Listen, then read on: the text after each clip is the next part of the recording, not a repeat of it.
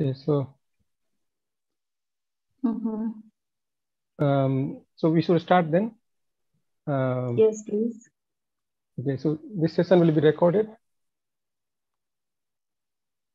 Uh, hello, my name is Rajiv, and uh, the coordinator for uh, uh, Umran Academic Research Association, and uh, we are conducting. We are we have organized this um, talk.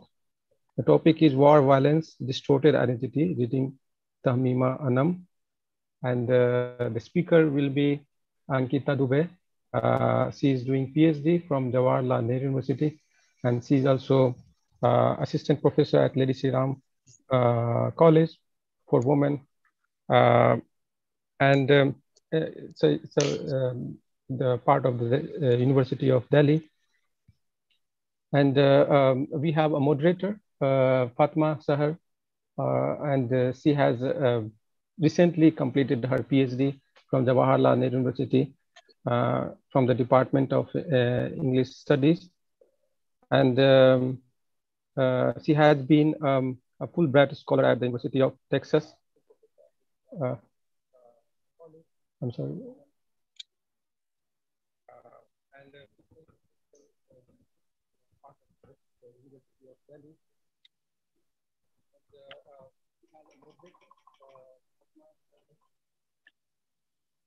And uh, she has been a Fulbright scholar at the University of Texas um, at Austin, uh, United States in 2017 and 18. Uh, she has uh, uh, been also a visiting PhD scholar uh, at the University of Tübingen, Germany. And she will be the moderator for this session. So without further ado, I would like to invite both of you, Fatma, who will be moderating this session, and Ankita Dubey. Thank you very much and nice to see you. So floor, floor is yours, Fatma. Um, thank you, Rajiv. Uh, thank you, everyone associated with UARA, Umran Academic Research Association. I am very pleased to be here today and I welcome all of you. A very good evening to all of you. Take it as it suits you if you are in America or in Turkey or in Iran or in India. Uh, I welcome all of you for today's webinar on, uh, on a Bangladeshi British writer, Tahmima Anam. So I'll just give you a brief overview about her and then we will move. Um, you got me. Yeah. is a Bangladeshi British writer and her first novel is A Golden Age followed by The Good Muslim and The Bones of Grace. Uh, these three novels form her Bengal trilogy, in which we see the literary representation of the birth of Bangladesh and also uh, eventually its failure. This becomes even more pertinent today as we see more and more wars happening around us. Russia's Ukraine invasion, military invasion, uh, uh, people fleeing for their safety, children, adults, old people, uh, everyone crying for their lives. This is the paraphernalia of any war, not just in Ukraine, but anywhere in the world.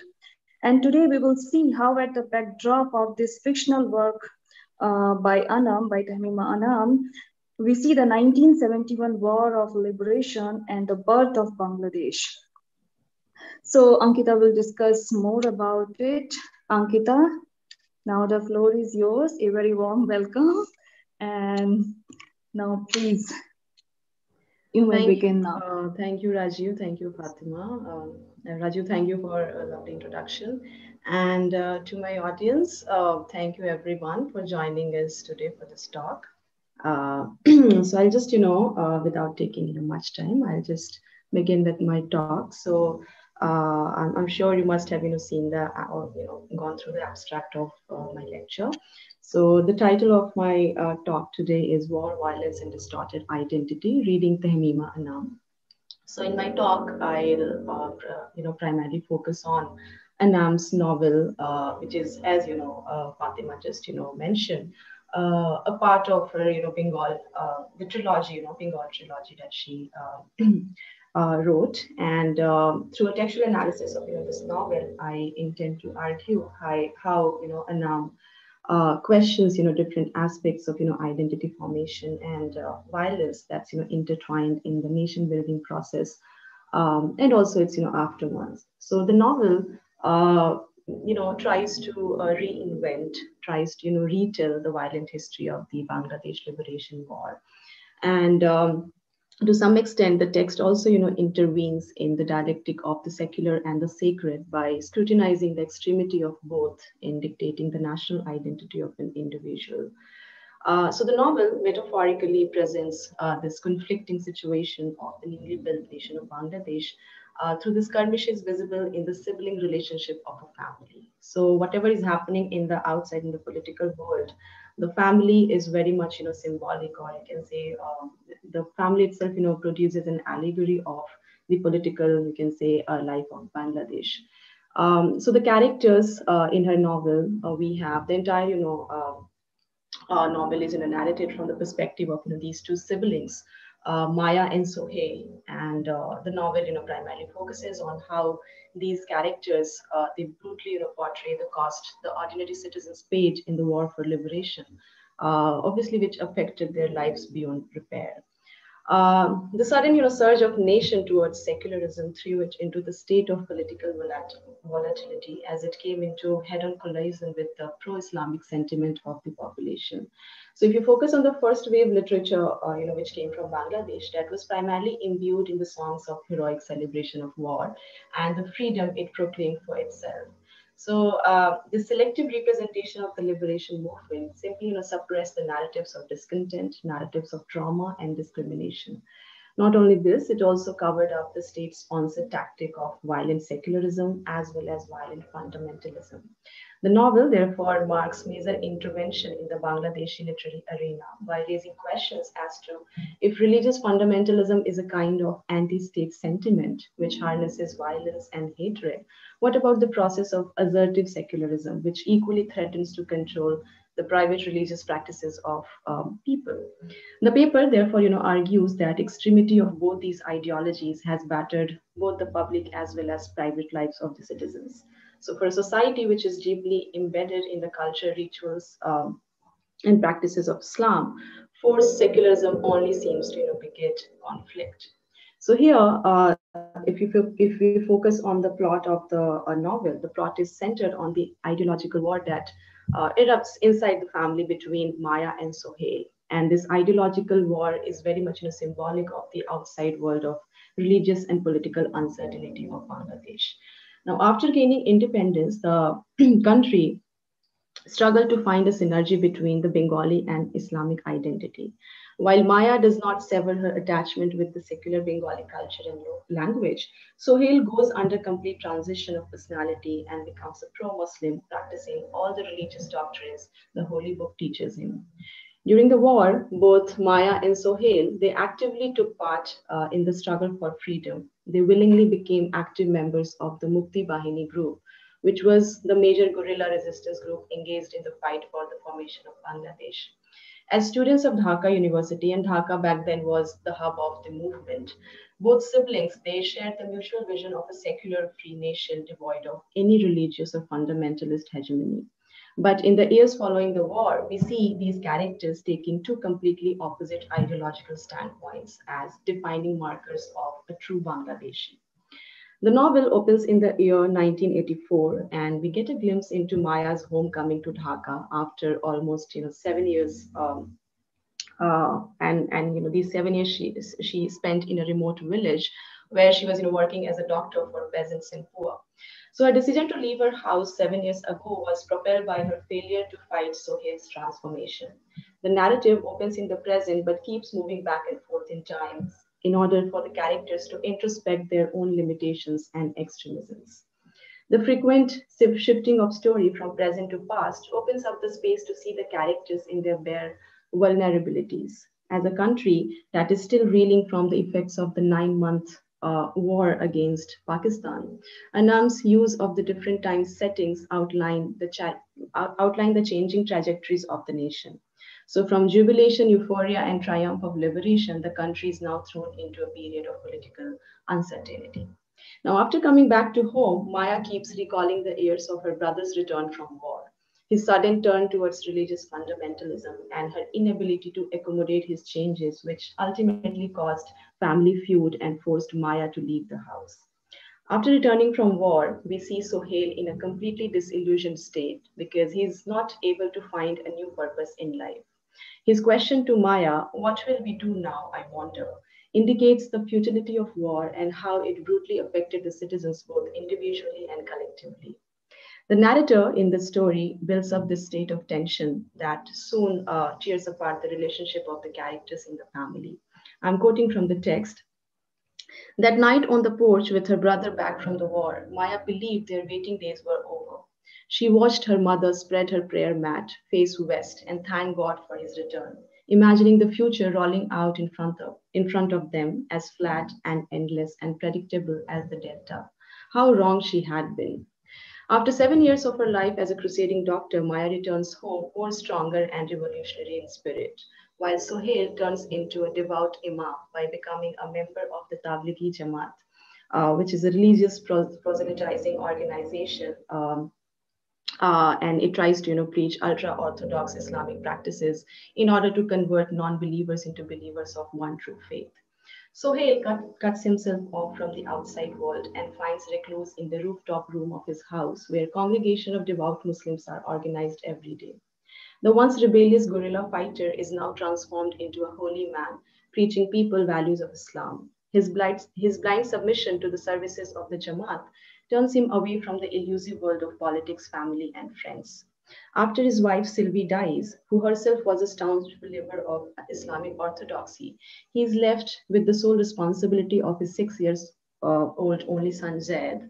But due to his undivided involvement in the prayer services, both at the mosque and at home, he neglects his familial duties. His devotion and religious zealousness pushes him away from the worldly attachment, and slowly he becomes so pragmatic that he does not even spare a moment to mourn his wife's death.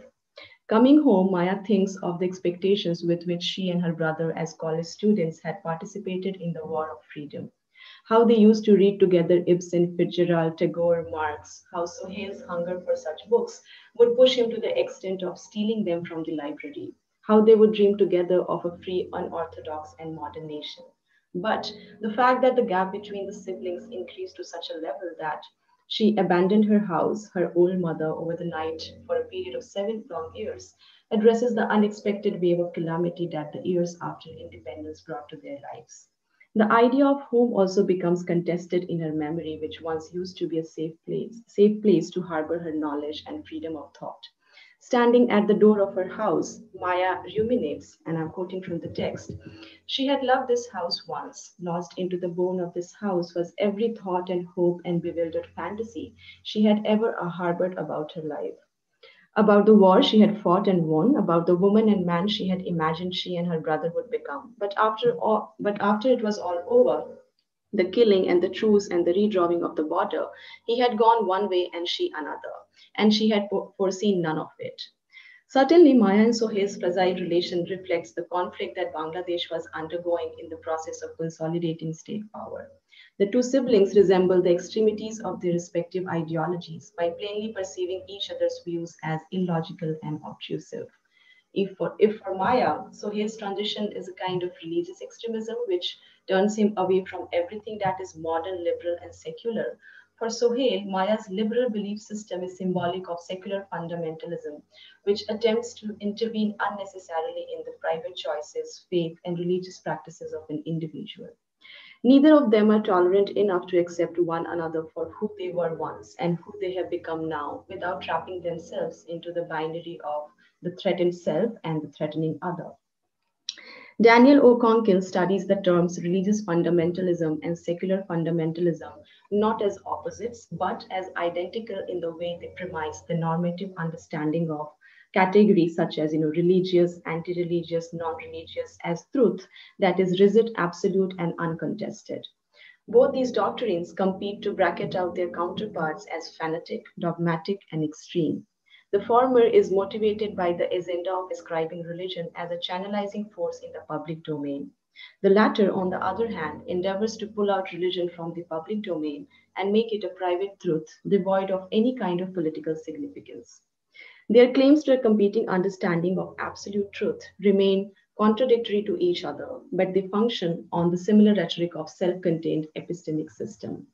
And this is, you know, how Conkle, uh, you know, uh, describes these two uh, you know terms religious and secular fundamentalism. He says these are these two concepts are systems of thought that are both insulated and insular that is both shielded and isolated from competing understandings of truth. Likewise each depends on a type of faith. The faith of religious fundamentalists is the acceptance of truths without regard to competing claims of reason the faith of comprehensive uh, secular fundamentalists is that without reason, there is nothing. Sohail and Maya stand at these two sides of fundamentalism so rigidly that even their connection through Rehana and Zaid fails to sustain their relationship for a long time. Both showcase their own sides of ideological bigotry, the price for which is obviously paid by the tragic death of Zaid towards the end of the novel. Maya fails to accept the new identity of Sohail and keeps mocking him for who he has become. Sohail fails to connect to Maya as she only wants stories of heroism. She wants him to tell her that he planted bombs under Country Bridge and that the Fell Bridge cut off the army and the people of North uh, Tangail and Bogra were saved. All this while, what Sohail wishes to tell her is, I have committed murder. What causes this change of nature in him is the murder he committed of an uh, you know, Urdu-speaking innocent old man who was not a soldier or a Bihari or any kind of enemy. Uh, the madness of you know that that is where you know he feels uh, what you know war does to you. The madness of war and violence um, uh, you know, back then had got hold of his mind so strongly that he killed him only for letting out the wrong word out of his mouth. Now, what is this, you know, wrong word? As the narrator tells us, this was the kalma, Bismillah ir-Rahman ir-Rahim. He feels compassion. I mean, the first emotion that I, when he looks at this, you know, old man uh, and the old man when he calls him beta, uh, the first emotion that he feels is that of, you know, compassion, that of, you know, sympathy. Uh, but it is the utterance of the kalma uh, that in the very next moment tags him as his enemy, as his other. So the weight of you know this guilt makes him uh, hollow from inside, and he considers himself as one of those war criminals who killed innocent people in the name of religion. This memory weighs heavily on his consciousness, and his turn to religion becomes a medium for desperate redemption. So the same man who once used to tell his friends how religion can blind them in their way to attain freedom and would strictly prohibit the recitation of Kalma during their days of guerrilla training, now argues in the favor of religion by saying it is not a bad thing to find one's God. Maya views Sohail's part in the war for freedom as a sign of valor. But for Sohail, this valor is heavily loaded with the tragic memories of war, the people he lost and the people he killed. She rema- Maya remains hungrily eager to devour every detail of war from her brother's mouth, who, on the contrary, wants her to be simply quiet so she can hear the roar in his head, thinking that if she could hear that roar, the roar of uncertainty and the roar of death, she might understand the buried pain in his heart. So the only mode of communication that exists between the two afterwards is silence for silence. The glimpse of this otherization can be seen in the way Maya ridicules the newfound identity of Sohail and mocks the absurdity, absurdity, of, absurdity of religion. I'm quoting from the text. Uh, the narrator tells us, uh, this was her moment. She had thought of it so often. It was a dream. He could see himself reflected through her eyes, see the absurdity of what he had become. He would see the ugliness of turning his family away, the cruelty of his own fathering. Cracks would appear in his belief. His faith would be shaken. Not in the Almighty, she would not wish to take that away from him. Or perhaps she did, but she was not willing to admit it. But in whatever force had taken him from her and delivered up a stranger. To her, uh, to Maya, finding escape into the fold of religion makes people irrational and blind believers. She claims that it is religion only that led her country to war and violence. When Sohail tries to persuade her defensively about this new newfound love for religion, that um, that is, you know, what prayer is. It is the abandonment of all other thoughts, all other pursuits. Maya reminds him of the atrocities of war by saying, "You remember, don't you, what they did to us in the name of God?" Unlike Sohail, who thinks just because a handful of people wrongly used religion, a tool to commit violence, does not mean that religion itself is violent. Maya interprets religion as a kind of frenzy that kills one's power to reason. That is why when war ends, we see Maya's non religious identity still so intact because you know, as the narrator you know, implies in the text, Maya had taught herself away from faith. She had unlearned, this, unlearned the surahs her mother had recited aloud. Uh, she had erased from her memory all knowledge of the sacred, returned her body to a time before it had been taught to kneel, to prostrate, to prostrate itself, because of all the things she had witnessed committed in the name of God. Her critical outlook towards religion pushes her to perceive things either as right or as wrong. This has been the problem with the secular nationalist thinking that they lack the ability to see common people's involvement in the, in the war as a way of resistance towards certain way of practicing Islam and not towards the religion of Islam. People fought for their survival, they fought for their autonomy, they fought for their freedom, and not simply to shun their religious identity. Their resistance and hatred were directed towards the illegitimate, illegitimate killing and coercion of the people, all under the banner of Islam by the West Pakistan. The novel also proclaims this fact that for the people of Bangladesh, Islam is so much a part of their social cultural life that imagining a nation rid of this religious identity will be nearly impossible. As Sanjay Bhardwaj, you know, uh, opines, uh, Islamic traditions and customs, institutions and beliefs are reckoned as the only familiar forms of social being and consciousness in Bangladeshi society. Uh, Maya, uh, you know, uh, loses any sense of empathy towards her brother only because he takes up a path which does not align with hers. Whenever he tries to express his own views on how religion offers him the solace and that uh, he needs to unburden himself of his own guilt, she simply dismisses it immediately by saying, Don't start talking religious number jumbo. We won't recognize you anymore. In her heart, she knows that the mm-hmm. Holy Book is helping Sohail in recuperating from past trauma. But what she discards is his absolute dependency on it that comes at the cost of his filial responsibilities. For a strong liberal woman like Maya, who herself lost her father to war and had been witness to the brutalities inflicted on the body of Bangladeshi women by the East Pakistani fanatics, it all looked like uh, the last recourse of a weak, submissive man who is unable to collect his own strength and rise above the chains of such haunting memories. Um, so in this you know, vague attempt to pull her brother out from the dirt of religion, she, she begins to close any possibility of understanding between them. She tries to own him as she thinks she can do something to prevent it. She believes um, her will is greater than the leaf in her heart and the leaf in her brother's. Uh, this is where, you know, again, you know, Daniel Conkle um, he attempts to you know, explain this ideological you know, polarization by you know, saying, on one side are religious fundamentalists who, assuming they bring their religion to bear on public issues, regard it as the only legitimate source of truth on whatever issues it addresses. On the other are secular fundamentalists who embrace an entirely different source of truth, one that excludes religious thought as illegitimate each group resides in its own world of truth. These worlds are isolated from each other, and their inhabitants cannot communicate across the divide. Secularism, therefore, you know, marks a clear distinction between the private and the political, and allows different cultural and religious practices to be practiced in private by an individual until they do not struggle, until they uh, do not struggle to seek recognition um, uh, in the state politics. Under this distinction, what kind of practices the state allows or restricts from being considered as private or public is again a game of power. Undoubtedly, a secular society provides a space for disagreement on the matter of political principles. But this, but this space is generally filled up by rules of negotiation, persuasion, and compromise between the contending parties. These rules are always established by the state to enforce the standards of legitimization in a secular society.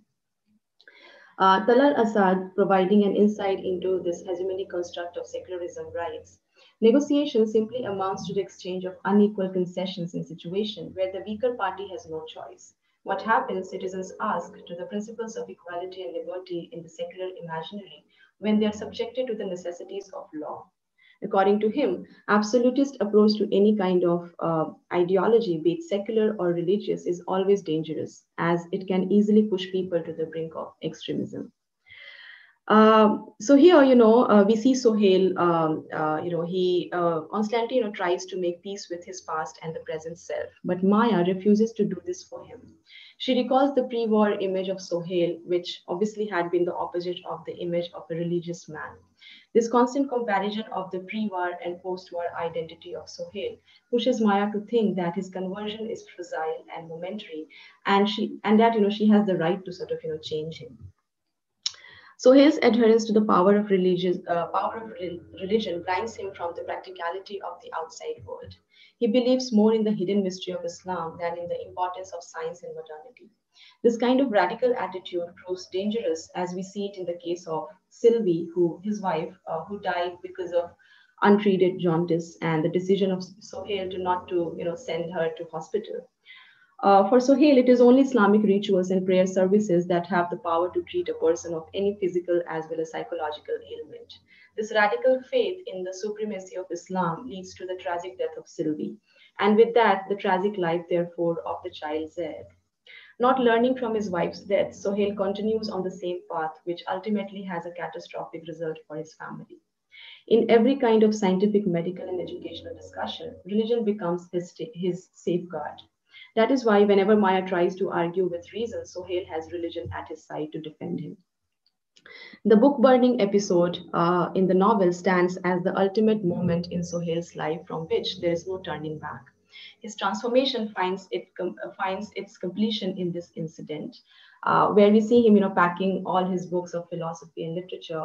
Uh, and that's when, you know, Maya comes to convince him uh, to not to, you know, sort of do that, by singing Tagore's song with the hope that the lyrics will resurrect his rebellious self. But to her utter shock, Sohail responds by burning all his books in Hitler style and thus blocks every possibility of communication between um, uh, the two.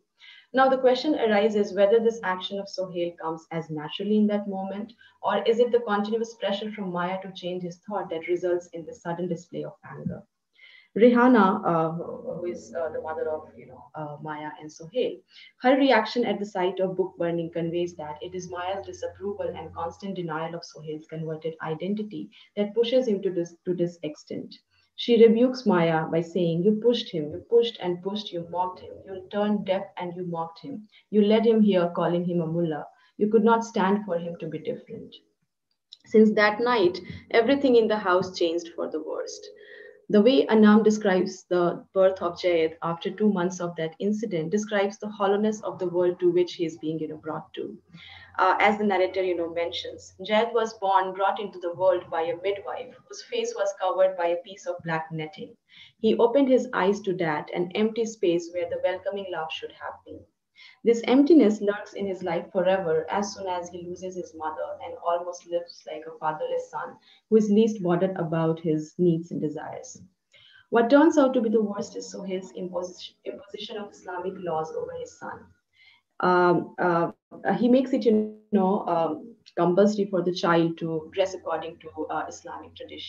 Uh, he deprives him uh, of you know, um, all sorts of, you know, things which usually sort of, you know, children of this age, uh, they look for, you know, they are pampered, they have, you know, parents try to, you know, give them a comfortable life, right? But then here we have uh, this child who is not given toys, no pocket money, no sandals. Uh, and that is why, you know, he picks up the habit of stealing food from market shops and money from his aunt's wallet. When he goes out with his mother, grandmother or aunt, he easily gets tempted by delicious food uh, put on display in shops as because you know such kind of you know temptation is prohibited to him uh, from an early uh, age. Maya feels uh, uh, you know angry as well as you know she also uh, has this you know sense of you know sympathy for the child. When she takes him out with her to buy sandals for him you know one day and the shopkeeper addresses him as a servant boy this embarrasses her, and in her anger, she scolds him, uh, you know, for being so shabbily dressed. She saw the way, uh, you know, he breathed through his mouth and the caked mucus in the corners of his eyes. He did look like a servant boy. That's what, you know, Maya uh, thought in that moment. His collars rimmed with gray short scabs dotting his forearms. In another episode, when she asks the child if he knows his alphabet, by which she means Bengali alphabet, alphabet, he replies Alif Batasa, since Zaid's education is done entirely under the supervision of Islamic tradition, he is well familiar with Arabic and Urdu language, but then has no acquaintance with his own. Uh, with his own, you know, uh, language. The cruelty and religious madness of Sohail is seen in the scene where he decides to send Jayed away to madrasa in Chandpur to teach him the virtues of a good Muslim under the guidance of the Huzur, who is the uh, head of this madrasa. Uh, Sohail takes this takes this decision to uh, punish Jayed after knocking uh, after knowing that Maya uh, bought a pair of fancy sandals for him, which obviously goes against the idea of immaterialism which Islam professes. When Maya tries to intervene, he retorts aggressively by saying, "I need to spend more time at the mosque. Mosque. I can't watch over Jayed. He needs guidance. We both know the situation is getting out of hand, and he makes up stories all the time. The boy lives in his own dream world. It is not right. Maya loses the argument, and Sohail prepares Jade for his journey to the madrasa, making him wear a brand new lungi, uh, a half-sleeved kurta, and a cap on his head. Uh, he's offered a small uh, trunk in his arms, which contains a comb, a stick of neem for his teeth, a crisp-paced Quran, two new lungis, and the chappals wrapped in newspaper. Soon Maya gets to know that Jayed is facing sexual assault uh, in the in the madrasa, and she rushes to Sohail to tell this and asks him to bring back the child from that place. Uh, to her disappointment, obviously, Sohail remains least bothered about this matter. And though Maya, you know, tries to save Jed towards the end of the novel from the horror of uh, uh, the Huzur, uh, she unfortunately becomes the cause of his death, as the boat that she carries um, him in capsizes and sinks. Her decision to be his savior arises out of her distrust towards her brother and his religious fanaticism. But by causing such tragedy in her family, she also fails him to some extent. While earlier there was still room for the two to reach a common understanding, Zed's death, death turns out to be the symbol of a life, lifetime clash between the two. As Anam explains uh, towards the end of the story, Finally, there was some sense to it all, but it was too late. There could be no sense between them. He would remain as hallucination to her, the ghost of a man she used to love, and she would remain a stranger to him. That he was willing to accept this without also punishing her was enough. Jayed's death stands as the emblem of the failure of Bangladesh as a nation, which till date is caught between the stark polarities of Islamism and secularism. Anam has used this family feud to depict the plight of a nation, which fails to include both these sides into the stage representation. The conflict between the siblings represents the struggle of the nation to formulate a solidified national identity. The tragic end of the novel forewarns against the extremism of any sides and suggests a more inclusive approach in debates surrounding the secular and the religious. Only acceptance and mutual understanding can cater to this complication, leading to the idea of you know, nation and national identity. Anam highlights the complexities involved in such moderate approach, but then she is hopeful of that spirit, which is still not lost. Towards the end of the novel, we see a kind of understanding being built between um, Maya and Sohail. The epilogue of the novel, which opens in the year 1992, prophesizes this hope for a, peace, for a peaceful syncretism of these two conflicting sides. That's where um, Anam, you know, uh, says uh, or writes, uh, she misses him every day. She misses Jayed and Sohail. She feels they sit here under her ribs and right next to her beating heart, and here at her temples. And every time she closes her eyes and sees the picture of who Sohail has become, knowing that they will never go to cinemas or sit up at the table with Ammu or share a joke or a book, her heart will break but she recognizes the wound in his history, the irreparable wound, because she has one too. His wound is her, her wound. Knowing this, she finds she can no longer wish him different. Among current, you know, um, uh, so this is what you know. Uh, uh, you know, uh, that's all about the talk, and uh, you know, uh, through these, you know, the relationship of you know these siblings and how they, you know, are suddenly, you know, uh, they move apart uh, from each other and how you know back then uh, during the war they both had similar kind of you know, vision for the nation but then in the aftermath of war they take you know two completely you know different roads right and where we see uh, you know uh, like uh, the brother you know looking at uh, uh, his sister as his other and sister also doing you know a similar kind of sort of so there is you know no let's say no space for conversation between the two because they are you know caught up in this you know dichotomy of as i said you know threatening you know threaten self and threatening other right? So um, so that's what that is what you know war does to this you know family and uh, uh, and that you know this you know tragic you know death of the child towards the end of uh, the novel and also the title if you look at the title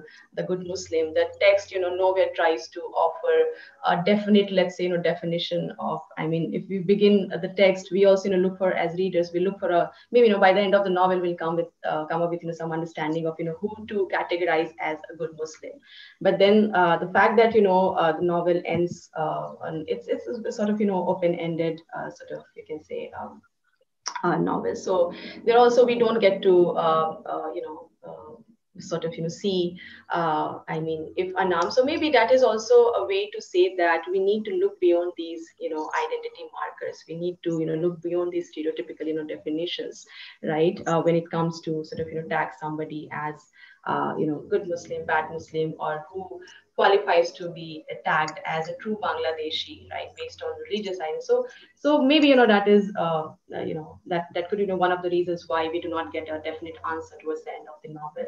Uh, what is this, you know, the good Muslim that Anam tries to, you know, uh, sort of you know address uh, through the novel.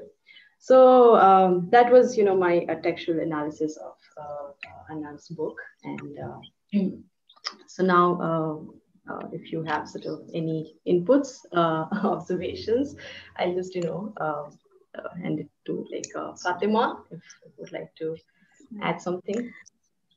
Thank you, Ankita, for that really insightful talk. It was really refreshing to go back to Anam and discuss uh, this really important work by her.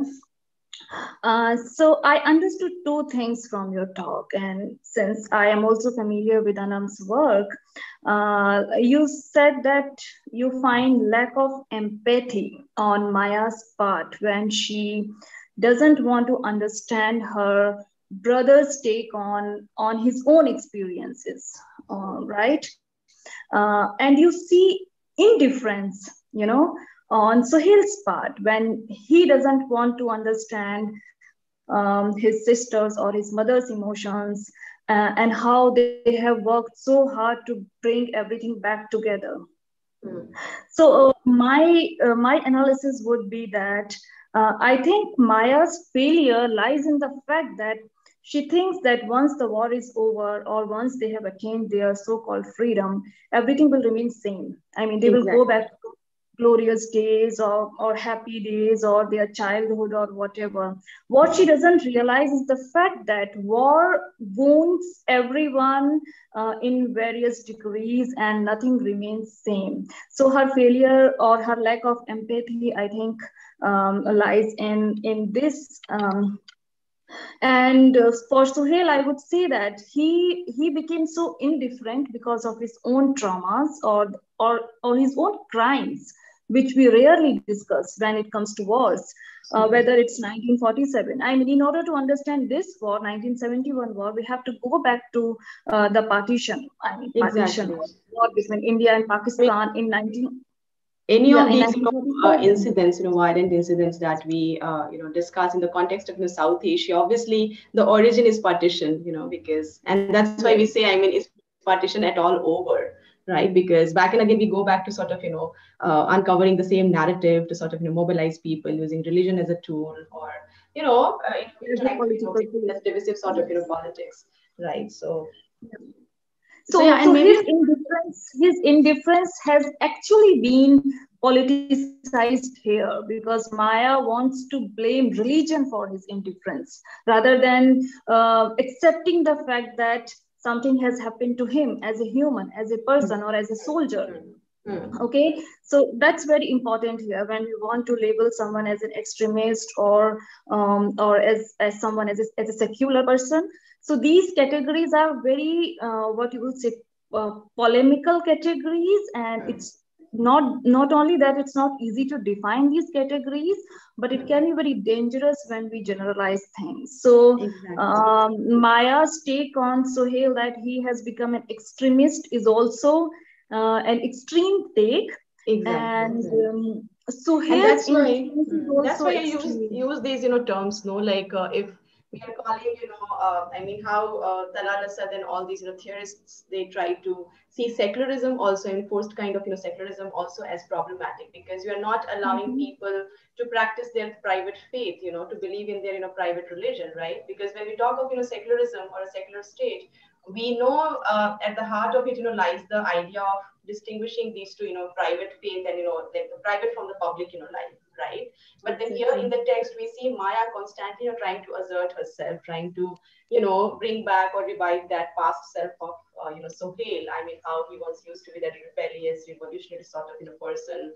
Uh, he himself used to, you know, condemn religion and all right? Or maybe towards the end of the novel, um, why? I mean, the epilogue, you know, as I uh, referred to, and where you know Anam mentions that uh, this is the place where, I mean, this is the moment in the text where uh, uh, maybe you know Maya recognizes uh, the wound in Sohail's history because now she also has one too, right? So this is coming from this realization is coming from where maybe from the death of Jay, right? Because that also mm-hmm. the reason goes back to that point only where obviously mm-hmm. uh, you know uh, Sohail sent you know Jay to madrasa because you know he thought you know that is the let's say uh, the proper let's say place to uh, get education right so maybe towards the end of the novel she also uh, you know goes through or maybe there is some kind of you know, guilt inside her that you know the death for uh, the death of you somehow you know she blames herself and she knows that Sohail is never going to forgive her for the death of uh, you know his son.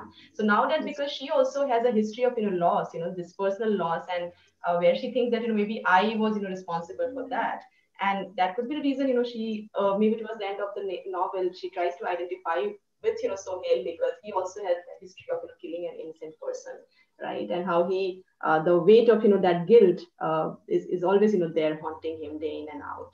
And that's where you know religion becomes his you know recluse right? That's where he seeks you know redemption. So so obviously i mean uh, uh you can say i mean this whole idea of um, guilt redemption uh, this this sense of you know loss right? Maybe it was the end of it that come you can say uh, you know brings these two characters you know together. Or maybe there is a hope for uh, a place or maybe a, a sort of um, reconciliation maybe. Exactly. Reconciliation, reconciliation. Yeah so um, at one instance i mean somewhere in, in the middle or towards the end of the novel um, because we those who, who are familiar with anam they know that uh, uh, Maya blames her brother's wife Silvi for hmm. this change. Okay, right. that she because she is very religious, so she changed her hus- husband. She made her husband into someone uh, who is an extremist. Uh, but towards the end of the novel, somewhere Sohail also says that you always blame Silvi for hmm. for all the changes, uh, but Silvi actually saved me okay or maybe her religious outlook or i don't know what exactly. Silvi actually saved me when you were busy killing all those unborn children. So right. uh, in in Rajshahi where she was a doctor maya she was actually giving abortions to women who were war victims who war were victims. who became pregnant after pregnant after being raped by by the soldiers by Pakistan the pakistani soldiers. soldiers right yeah so he also has this kind of um, what you would say um, this temperament and where he is blaming his sister. Okay so you were busy doing all those abortions while i was being saved by religion or by mm. my wife.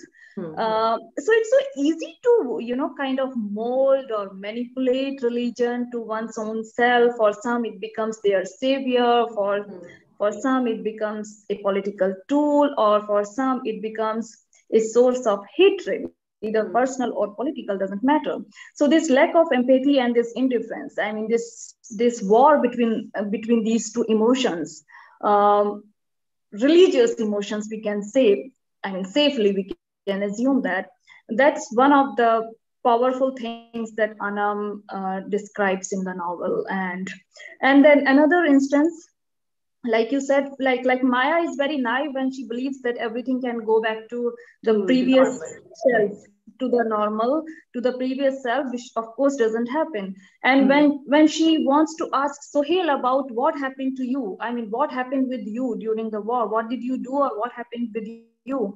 What did they did to you? So uh, Sohail is so wearied and so tired by her sister and you know the way she pressure pressurizes him all the time.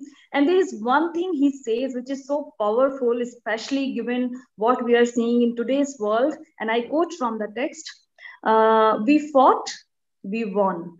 It didn't make a difference in the end Right. Okay, so it's like, okay, there was a war, we fought that war, we are now independent, but there are so many things that need to be addressed. addressed. All the war crimes, or and the current dictatorship in Bangladesh, and mm-hmm. the sheer poverty and so many things i mean it's not that you uh, you wage a war against something there are heroic tales and then you come up mm. as you know a brand new you don't become a brand new person or a country you are still wounded still traumatized and still um, a lot of healing has to happen mm. Okay, so this one line stayed with me when I reread the novel. Uh, we fought, we won, it didn't make a difference in the end. So, usually, I don't know, it's more like a, a, capitalist gimmick or something. It benefits some, of course, but then in the At end, the cost of what? At the cost of what? That is the question.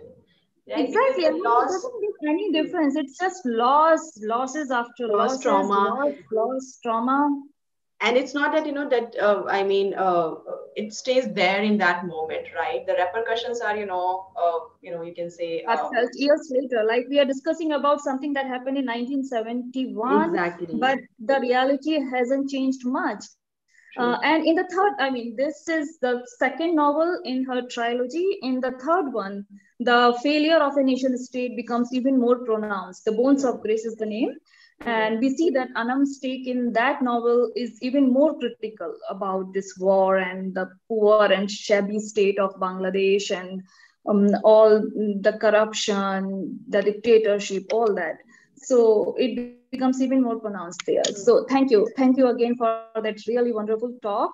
Um, now I open open the floor for, for more discussions. If you have any questions, please uh, please ask Ankita or any comments. Okay. I think Rajiv, Rajiv has to uh, say something. Okay. Thank you very much, Ankita. It's a, it, it was a wonderful uh, presentation. Thank you. Um, I, I must admire your presentation. And that is the beauty of literature, uh, yeah. which cannot be expressed uh, directly.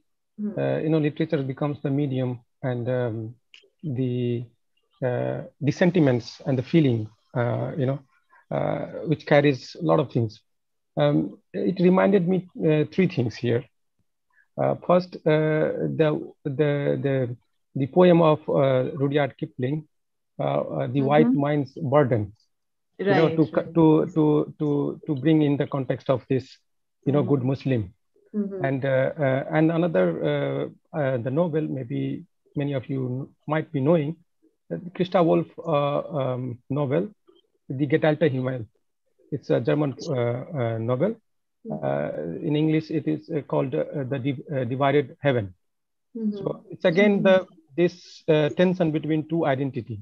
Mm-hmm. One, one, the guy, the guy. It's a, it's a love story again, but the ideological tension also, mm-hmm. and how this goes to the extreme level and then uh, separates two, uh, um, two two souls actually and then that's why is metaphoric like you know the divided heaven heaven mm-hmm. uh, it's it's a very very interesting thing that you have here pointed uh, and then i will be to uh, talking about the third question uh, i will be asking you and uh, but before that i want to say something this uh, you know the the the, the Himmel, the, the divided heaven is about again the the the the after the World War Second, the Germany lost the uh, empire, and um, the Germany was divided into two uh, zones, East and West, and mm. capitalism and uh, uh, socialism or communism. Mm. So the girl is from the uh, East Germany, and then mm. the uh, man is from the West Germany, and they meet, and then they fall in love, and then they wanted to to marry because but because of um, the different uh, uh, uh, ideological differences they divides they go uh, mm-hmm. separate uh, now here uh, the i want to go back to the rudyard kipling's poem the white word, um, the white man burden, it's very interesting. Look at the, the story of this story. The Muslim people have taken the, this burden of entire humanity. That goes to the extreme level. Mm-hmm. I mean, you, it's, you are, uh, uh, it's, uh, and I'm not talking about the Muslim people, but the, the, when you talk about the good Muslim, mm-hmm. you know, so, uh, mm-hmm. uh, uh, uh, so it's, it becomes again, the, it, it, goes to the extreme level. When you take the burden of the entire humanity that uh, you need to protect the, all human beings from the sin. Mm-hmm. It was in the time of the white man burdens when they were talking about like, you know, to, for the salvation that they will be giving the salvation to the entire humanity. And the black man was like, you know, how they were treated.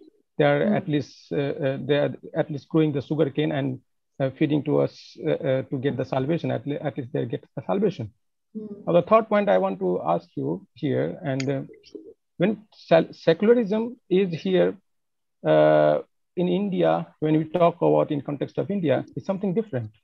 Perhaps I'm not, uh, I'm not sure, and I want to talk to you, and I want to open the discussion about the secularism. When we talk about the secularism, the secularism, uh, Talal uh, uh, Asad, what he might have perceived, might have thought of Western Western notion of secularism. Exactly, exactly. When we talk about secularism in India, it's something different.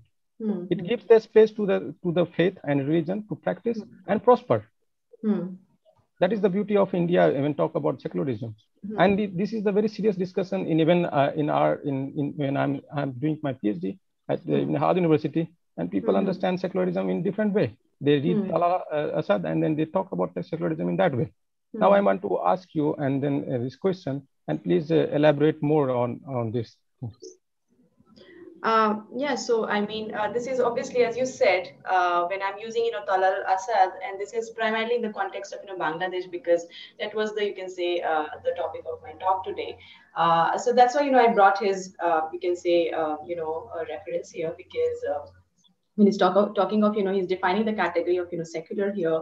He's uh, taking it as, let's say, uh, I mean, uh, a Western sort of, you know, concept, you know, Western sort of, you know, import, and how, uh, you know, is at times, you know, used by the state as a tool, we can say, uh, legitimize, let's say, the uh, power of the modern state by establishing a clear-cut sort of, you know, boundary between the authority of the public sphere in opposition to the privatized sphere of the individual religious practitioner. And that's where the this whole conflict, you know, arises, right? Because whenever we are saying that uh, there is, you know, when we are draw, drawing this kind of you know, line between, you know, secular and the sacred, right? And we're saying that uh, you know how um, I mean religion needs to be you know pushed more to let's say your private sort of sphere.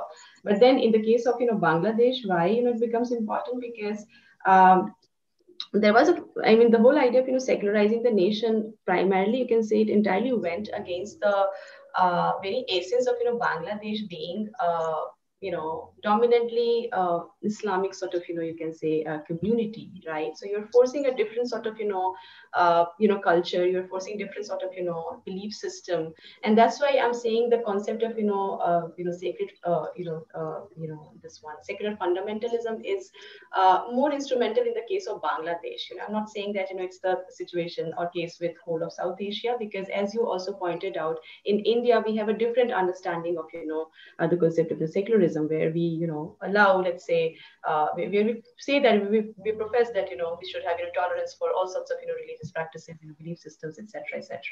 right? But then uh, the problem why in Bangladesh is so more conflicting is because uh, Bangladeshi community, I mean, uh, this whole, as I said, the tussle between Bengali sort of, you know, identity and Islamic identity, right? How you're trying to, you know, enforce certain set of, you know, certain, you know, aspect of, you know, identity to categorize people as, you know, true Bangladeshi or true, let's say, you know, citizens of, you know, Bangladesh, right? So that is, you know, problematic. And Talal Asad, you know, primarily, I think he's why I used his idea here is entirely in the context of, you know, Bangladesh, where uh, he obviously, you know, looks at um, this, you know, conflict between uh, the siblings um, and you know as a sort of you know criticism of modern conceptualization of the secular that always you know demands uh, for the separation of you know religion and insists for it to be privatized right? But then it's always a game of you know power right? I mean your private is never you know severed from the political right? And that's what Anam also, you know, tries to depict in this novel, right? It, like these two, you know, uh, like within family and how, you know, using family as sort of an allegory for the nation itself, right? So whatever is happening in the outside domain, the repercussions are not just like sort of you know, located there. We see, I mean, these two siblings at one point of time, I mean, sharing uh, like, uh, you know, tea, coffee, you know, cracking jokes. And now they're not even, uh, like, they're not even able to strike a conversation. They're not even able to understand each other right? So uh, so I, i'll agree to you you know raju uh, because uh, this concept of you know secularism as uh, as an imported sort of you know concept as a more sort of western concept uh, i mean i would like to i mean my intention was to criticize it in the context of you know bangladesh but then not i'm not you know trying to imply it in the like the whole of you know when it comes to like address the whole of you know, south asia right? Because in, in india we know like it has a completely different sort of you know uh, connotation right? So um, if that you know addressed uh, your question, uh, Rajiv. Yeah. Fatima, would you like to add something? Um, yeah, interestingly, um, in the novel itself, we see different kinds of Islam. I mean, not different kinds of Islam, but different ways in which people practice Islam. So Maya is recalling the way villagers used to, you know, pray which is not which won't be tolerated by by Jamaat Islam, Jamaat Islami people or other other other sects. Uh, so she was like, there are so many ways to, you know, pray to um, pray to God, pray to Allah, or to practice Islam. And hardliners kind of reduce it to just one single uh, entity. Like you have to uh, pray in this way, pray in that way. That's why she is critical of that sister also, that Khadija sister who stays with them upstairs. So some of the criticism is valid actually, what Maya says. It's not, it uh, not everything can be, I mean, everything she criticizes cannot be discarded because some of them is, uh, some of that is valid. Uh, so it, it opens up, I mean, discussions on who makes who uh, is a who makes who qualifies as a good Muslim. Exactly. And who gets Jamaat to decide Islami that. version. Yeah. Uh, Jamaat Islami version that Sohail gives us, or it's uh, the, the villagers secular I think they, um, they make songs, you know, and they sing songs using Quranic verses, something like that they do. Now mm-hmm. I, I'm remembering that. So uh, but Jamaat Islami people will be very critical of that. I mean, how can you sing? Singing is haram in Islam and all that. So uh, Anam is actually very, it's being very paradoxical here. She is not talking just about the war, but she she is more objective here. I mean, what do you get get out of all these, uh, all this? I mean, so it's like who qualifies for a good Muslim? Sohail or or or Maya who actually criticizes religion uh, being used as a political tool or or those who are not part of that war but still they practice islam in their own ways hmm. so it's it's like a vast ocean we can go on and on and on but but it uh, uh, it compels us to ask a few pertinent questions. I mean, uh, to become uh, compels us to become more empathetic, more tolerant, and um, and more patient with people, with their experiences, um, and also compels us to ask questions that we should be asking, like uh, uh, war crimes, for example. I mean, mm-hmm. Truth and Reconciliation Commission. She she keeps on talking about that. Um, those who committed crimes during the war, they must be punished. Uh, I mean, all those things we should be questioning. And in and in the current scenario, I mean, uh, Rajiv and I were having a conversation about it, and which is so important. We it's not enough to say prayers for Ukraine or prayers for this country or prayers for that country. We must be questioning the whole idea of such big investments in military. Hmm. Okay, so uh, i mean as individuals we cannot do much. We cannot go and help people in ukraine or stop russia you know or uh, we are not that powerful. We might not sound that powerful as individuals but then we should be asking why uh, nations even though they are now clear cut nations with clear cut borders and laws and regulations why why are they still investing in arms and military uh, i mean what is what are we getting out of all this? Only violence trauma? Mm. common people at least they are getting all it is some people who are in power. I mean we should be questioning people in power and their intentions and and uh, of course we should talk about the ways in which we can create a better world for all of us. Hmm. and i think exactly that's what you that's know how i'm also taking from from a family to a more generic uh, worldview from pessimism from war to like you said towards mm. optimism and exactly that's what you know uh, the novel also tries to uh, in a way explore uh, that you know whenever we talk of let's say um, uh, history of you know any kind of you know, war, we get to sort of you know hear all these heroic stories, right? Of of you know stories of you know valor, etc. etc. But then what about these ordinary, let's say you know citizens, you know individual sort of your stories, right? And that's why you know she's using family here, you know this one sort of you know uh, very close sort of you know space unit to resemble you know whatever is happening in the outside domain. And uh, so that's why it's important to talk about you know ordinary experiences. It's important to talk about individual you can say uh, experiences of you know trauma of loss right? Because uh, when you talk of let's say the official history of you know official you know let's say uh, discourses of nationalism right? We never get to hear these stories, right? And that's why I also, you know, pointed out that this is one of the major interventions, uh, you know, by Anam, because uh, if you look at the first uh, set of, you know, let's say, uh, uh, writings which came from, you know, Bangladesh, they were all about, you know, heroic, let's say, uh, songs of war, etc., etc.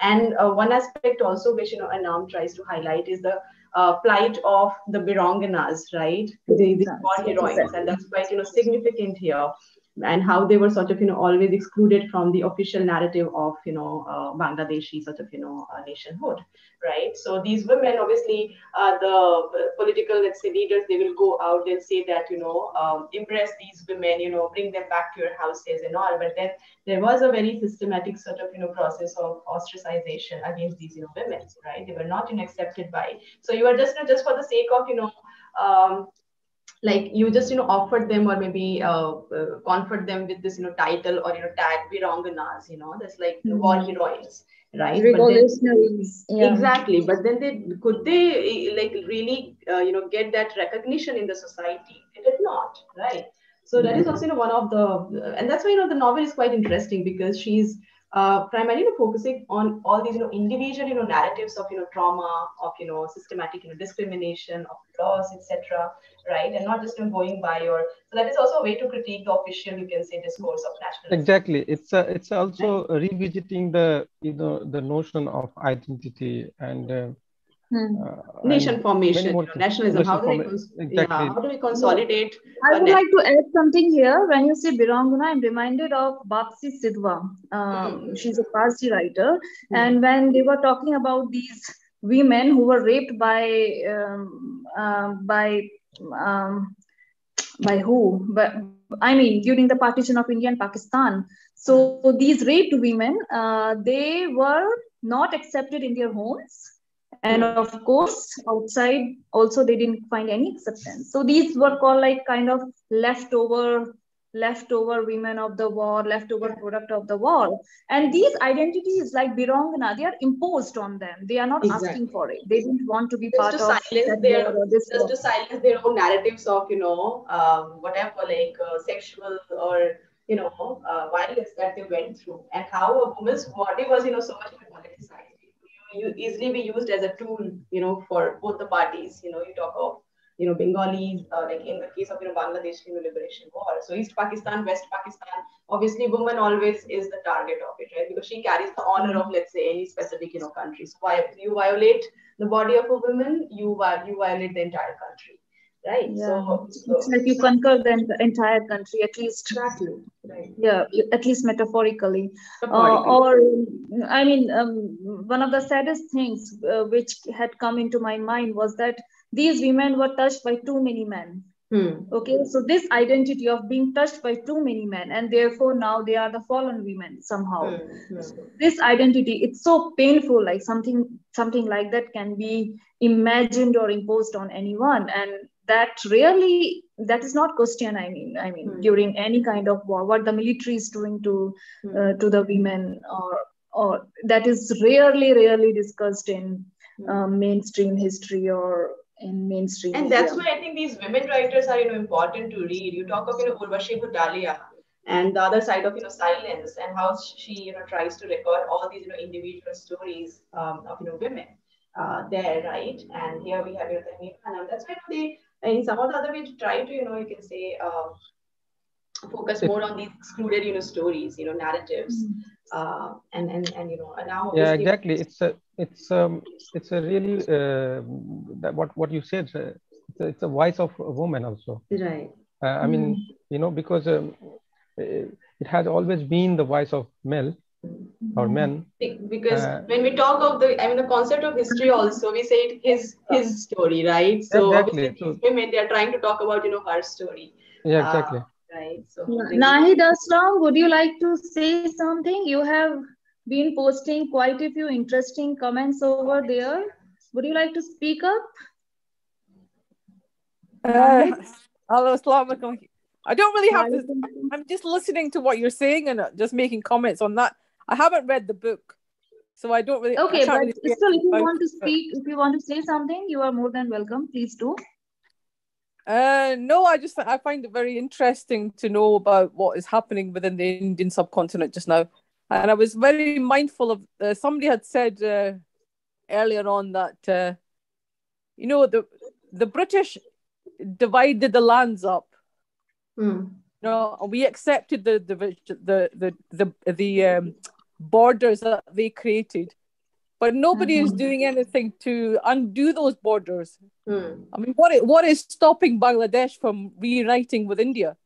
Hmm. What is um, apart from the religion, maybe, what is stopping Pakistan from joining with Afghanistan? If it feels like it's got much more in common with Afghanistan than it does with India, you know, Mhm. the borders were created by Britain and Africa as Mhm. well. I mean, if you look at Africa, the, all the borders that were that are there, the artificial borders created by the Europeans. But why are the Af- why are the Africans not uh, dismantling those borders? You know, why why are the uh, ex-colonized countries not saying, well, no, we've had enough of this. Uh, these are artificial borders. Uh, we want to reunite with our people. because Um, we because I think Nahid, we have like different uh, you know faces now for those for those colonizers, right? So in I mean, if you talk about South Asia, political leaders, people were in power, right? So we have the system is same. You have different faces, you know, you have different sort of you know mechanisms, different sort of you know structures there. But then, as you highlighted, I mean, why can't we just you know undo that and question that? We are not doing that. We are simply trying to do more politics you know, over uh, the whole idea of, you know, border formation, etc., etc. professor professor day uh, is with us. Uh, professor day welcome. Uh, would you like to say something? Hello, Professor. Professor Day. Good to see you again. i think uh, professor day is muted or perhaps um, is not convenient. So yeah what what he he was he was saying um Nahid aslam um where are you from Nahid I'm Punjabi, you're from punjab in wow. Living in Britain though. okay it's great uh, so it's a very good- Jameel, you wanted to say something? Jameel No. Ahmad? Yeah, I had a okay question. just just a minute um Yeah. uh, and then i will come back, back to you directly jamil and then i think we are out of time topic also is uh, close to my heart because uh, my family uh, came long back uh, from uh, erstwhile East Pakistan, that is Bangladesh. So we Mhm. know what's going there, what is going on. And the 71 war, we supported wholeheartedly. Uh, Bangladeshis uh, and celebrated their victory. But uh, whatever happened before 71 and after 71 is very painful very, very painful. And Tahmima has uh, opened up the wounds once again. So I want to say, but then, uh, yeah, this kind of discussion is uh, required. It's very rarely talked about. These women, these so-called quote-unquote foreign women, uh, who has been raped again and again and again and again by the uh, Pakistani army. I mean, they're, uh, yeah, they just call them Biranganas, but then that has no value. And uh, the religious divide, let us not talk about it, it's, it's huge. It's huge there. I mean, so Pakistan uh, is all, I mean, Bangladesh is always in our heart. Um, and uh, as I said, these kind of discussions opens up the wounds for us. But we mm-hmm. must discussing because there is no other way to solve the issues uh, uh, that are at stake, particularly the position of women, position of minorities, not only the Hindus of Bangladesh, but also the other minorities, the Buddhists of, uh, of uh, Chattogram, the Chittagong area, Buddhists, and mm -hmm. the Santals and other tribals. So whatever I get to hear from my friends in Bangladesh, things are not very good.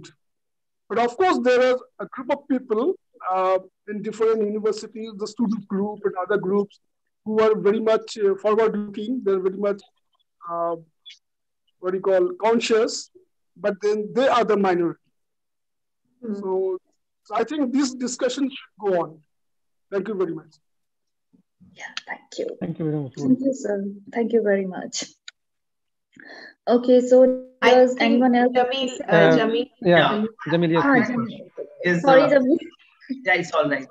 So uh, I had a question. I have not read uh, the novels of uh, uh, the writer mm. under discussion. Yeah, but I had a question to ask because uh, the novels which she wrote, uh, I mean, had the has the backdrop of uh, Bangladesh, war, right? So my question is because you people were talking about uh, religion, right?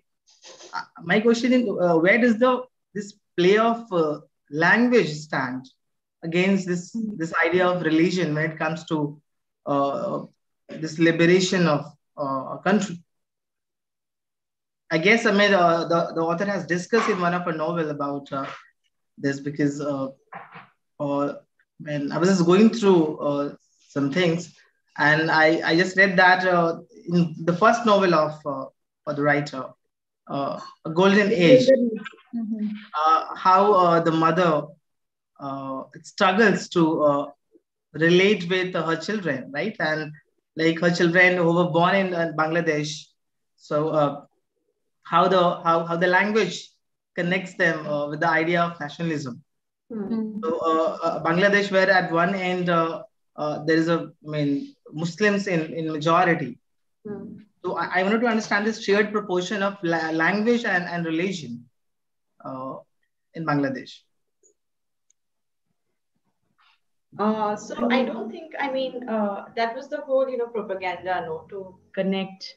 I mean, on the one hand, on the one hand, you had, you know, like these uh, secular sort of, you know, um, you know, idea proposed by the Bengali sort of, you know, uh, you can say uh, Muslims, and on the other hand, in West Pakistan entirely sort of so Urdu, you know, uh, primarily you know, Urdu speaking and also uh, obviously uh, when we are talking about the Bangladesh liberation war, language was at the core of it. You know, that was one of the you can say major uh, you can say uh, points of you can say uh, conflict between these two sides. But then language here is also not used. I mean, uh, as a neutral sort of an entity, right? That we're just you know obviously these like religious connotations, right? Cultural connotations they are very much you know embedded there right and we have to look at the nexus of you know language religion ethnicity there, there are so many you know let's say you know aspects right and they all you can say when uh, it's wartime you see people you know using all sorts of you know propaganda right and they'll try to use like especially uh, especially you know those tools which help you know mobilize the masses on a large scale right? So obviously, I mean, language, religion, ethnicity, all these are, you can say, quite, you know, connected, right? And in the case of, you know, Bangladesh Liberation War, this language, I mean, the whole, you can say, politics of language was, you know, not rid from, not rid of, let's say, uh, uh, the religious connotation, right? Because on the one hand, you have the Bengali culture, then, you know, like the, the Muslim culture, and the whole tussle is between the Bangladeshi and Bengali identity and Islamic identity, how to sort of, you know, uh, these identities. Why I ask this because uh, my experience has been uh, quite different. Like, let's say in India, I'm talking about it in a campus wherein we have students from different states speaking different mm. language. Mm. So suppose in, in a group oh, there are students uh, speaking Bengali. Mm. Okay, so hmm. uh, uh, let's say there are Muslims and Hindus and people of other religion. so a Bengali, I'm a Muslim. My first, uh, I mean, my first language is Urdu. I don't speak Bengali. Let's say that. So a, a Bengali will prefer to be with somebody who speaks Bengali, uh, regardless of which religion he or she belongs to. Right. So uh, uh, I, I, was wondering, was religion a uni unifying force in uh, Bangladesh liberation or the religion, language or religion? See, uh, again, Jamil, uh, we have to uh, read it in the context of uh, like different situations or you know, incidents that we are talking about. So, in a, like, let's say if you're talking of you know day-to-day sort of you know uh, you know sort of I mean, our like everyday sort of you know, reality, right? As you know, brought out brought out the let's say the reference of you know classroom sort of you know, engagement, right? So we are not in war sort of you know situation here. It's more like a safe place. You have you know people coming from different parts of India, different, and uh, we are there like in JNU we have like you know uh, we, our department is called you know Center for English Studies, but then the department is so much you know dominated by Bengalis. I mean, so I mean we used to sort of you know practice joke, you know, let's take the uh, and at times, I mean, there is this kind of an hegemony language that you can feel, you know, it's.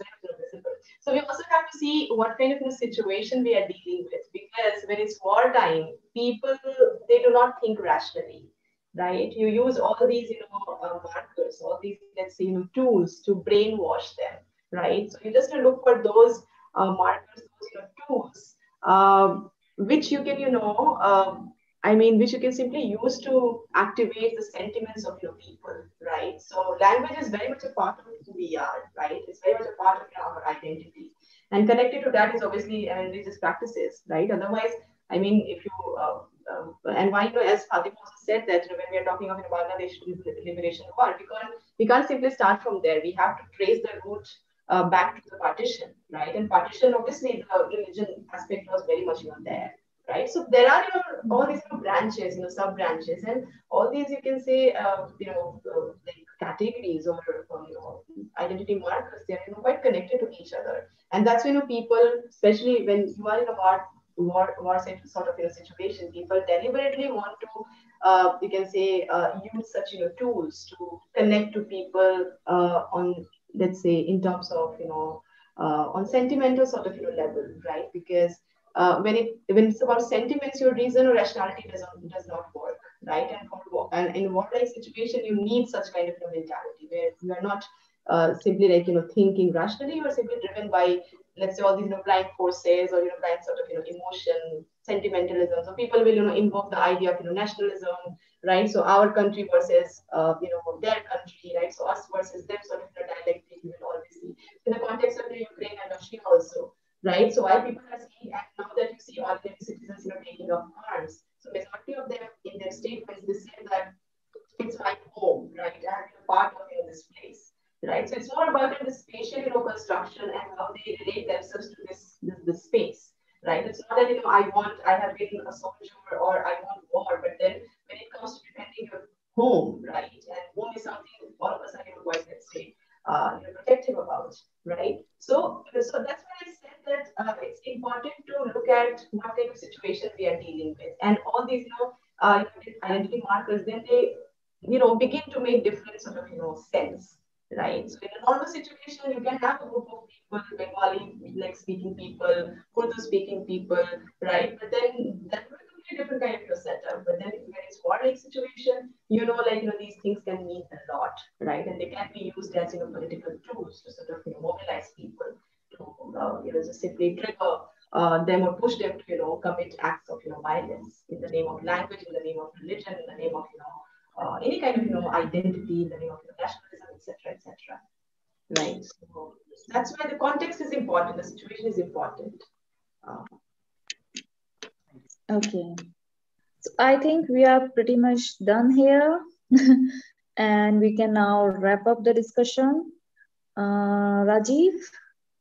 Yes, um, thank you very much, Ankita and uh, Fatma and all the audience who are still like for long hour tuned with this um, talk. Uh, we, we are having the series of um, talks uh, on this uh, theme, identity, violence, you know, uh, when we talk about violence, uh, we really need to talk about again and again, but because violence in itself is a, a, very complicated word, you know, when it becomes violence. Okay. Hmm. And what, what sort of, you know, violence we are talking about? Exactly. You know, physical violence, psychological violence, psychological right? violence systemic exactly. violence, uh, domestic state, violence, state-sponsored violence, which is yeah, rarely talked about or acknowledged. Exactly. Yeah, different forms. Yes. So, uh, yeah, I mean, for example, um, you know, it's uh, also violence becomes like a uh, uh, minority living in the majority country, community. Mm-hmm. It also can be violence also. Uh, mm-hmm. because uh, it becomes very sensitive issue like you know because uh, psychology it's, it's, it's, a psychology because they feel uncomfortable living in a uh, majority community and then mm. they they feel uh, even they are not oppressed or suppressed they feel suppressed they need some some sort of, sort of uh, you know uh, communication so so we, violence also opens the door of communication mm. whether it's a man and woman because uh, when we talk about violence of um, um, you know then we need to talk about we need to come in dialogue like you know what is happening then then we, we need to establish a dialogue uh, mm. else it becomes a violence so uh, it's a it's a great talk that we have initiated and um, i mean i i actually added this um, uh, uh the novel i think i'm I, am i am adding in my uh, uh, bibliography it's going to be another um, reference for my phd um, research project uh, so thank you very much, Ankita. And uh, we uh, we have another session that is going to be on. Um, I think um, Fatma, can you share the Umran group, or WhatsApp group on this, or Swasti, can you share in the chat so they can mm -hmm. join? it will be easy to communicate with them whenever we have updates, um, discussion. Uh, you are tuned with then uh, our talks. Swasti, you can share the WhatsApp link yes, in the chat. Yes, yes, so, so I'm doing um, that. Our next talk is going to be uh, on um, uh, March. Uh, it is going to be a two days webinar uh, series of talks again. Or one day? March, one day or two days? Two days. It's uh, Saturday and Sunday. You are and your uh, friend. no, that's in April. That's in April. Sharoni and I. Mahi's talk is in March and uh, it's one day seminar yes yes okay okay i'm sorry uh, mahi and uh, professor um, uh, um, uh, Mausmiji Banerjee is going to moderate the mm-hmm. session and it's mm-hmm. uh, again we are talking so so the theme is of theme of our um, Umran Academic Research Association uh, is again identity violence and cons- consciousness you know to become aware of something you know uh, then we can reduce the uh, the violence when we are aware then we can reduce the uh, violence um, and mm-hmm. um, uh, uh, uh, one more thing that I want to uh, add here that uh, Umran Academic Research Associations are conducting um, talks on regular basis. Um, we are publishing also papers. We have um, Umran magazine. recently, we launched the project. you can Umran Women's Magazine. if anything related mm -hmm. to the women studies, gender, uh, you can send us, uh, you can visit our page, website, and send your uh, articles. Even you can share the poetry, you can share the paintings, women's paintings, okay? Uh, uh, photography, we need a photography also, uh, okay? So done by the woman, photography also is required. So there are a lot of things that you can share and we can, we are gonna publish in our magazine, which will be quarterly published we have editor, very renowned. Uh, uh, we have the board of editorial board uh, and professor from different part of the world, India, um, from Turkey, and from UK, uh, United States. So we have the editors. we are working very hard on this project. Um, another project that we have, you can become Umran Academic Research Association member also. and we will be also in future, we are looking for that we can provide uh, scholarship to the research students. So we are working on that. Uh, and if you are interested, you can join, become a member uh, and uh, uh, stay tuned with the with this. yeah, I'm already following your page. very, much very much a participant here. and it's really, I mean, you are doing such a great work. Thank you very much. Thank you very much. Uh, it's, thank um, you, Gita. Uh, thank you again. Thank you, Rajiv. Thank you, everyone. Really interesting. Thank you. thank you. Thank you, everyone, for joining us. This was a lovely evening. I really enjoyed the talk. Thank you. Thank you. Good night, everyone. Good night. Thank you. Uh, good evening, ma'am. Yeah, yes. Good evening. Yeah. this is Neha. Yes, Hi. Neha. Uh, yes, ma'am. Good, even good evening. It was a great session with you, sir and ma'am. And right now, I am doing my research on Tahmima Anam's, the Okay. Tahmima Anam's book, uh, The Good Muslim and the Golden Age. Mhm. And uh, I am go- going to do a comparative studies uh, with uh, her novel, with uh, Natasha Kaul's novel, Residue, Mhm. and the future tense. Right. So uh, I read uh, these two novels, and I, uh, in your talking, I've got a great idea about these novels. And uh, right now, I am pretty much I have a confidence that I am able to write my papers and publish my papers because of you all. we'll surely do, Neha. I mean, I'm, I'm glad that I could just, you know, uh, inculcate that interest.